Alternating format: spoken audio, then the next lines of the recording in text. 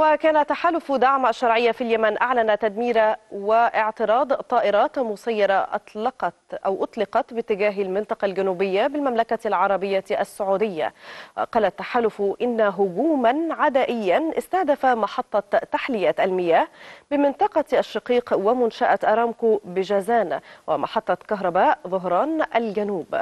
مشددا على أن تصعيد ميليشيا الحوثي بهجمات عدائية تستهدف منشآت اقتصادية وأعيان مدنية يعد رفضا لجهود ومبادرات السلام والدعوة الخليجية في هذا الصدد.